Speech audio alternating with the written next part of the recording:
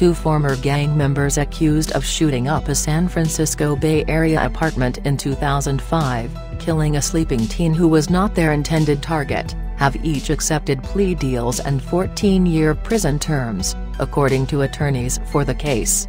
Murder charges were dropped against George Marcus Siver, 36, and Brian Lee Gray Sr., 35, after they accepted manslaughter convictions, the East Bay Times reported Sunday.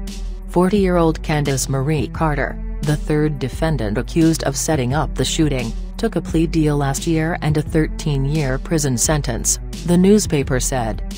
All three were arrested last year in the killing of 17-year-old Edgar Martinez in Antioch.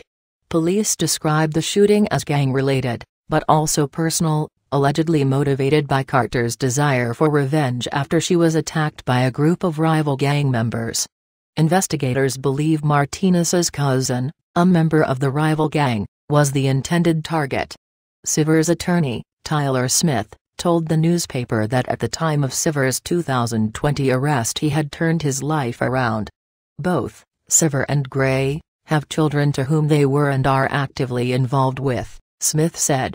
They both had jobs at the time of their arrests and were productive members of society.